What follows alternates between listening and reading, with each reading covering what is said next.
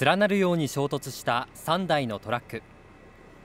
現場では車体に挟まれて動けなくなった運転手の救助活動が進められていました。今日午後0時半ごろ愛知県新城市の新東名高速上り線で減速した大型トラックに後ろから走ってきた別のトラックが追突するなど合わせて3台が絡む事故になりました。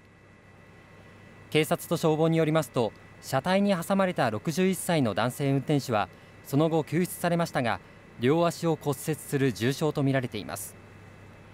また最後に追突したトラックの男性運転手も病院に搬送されましたが軽傷とみられています。当時現場の先では渋滞が起きていたということで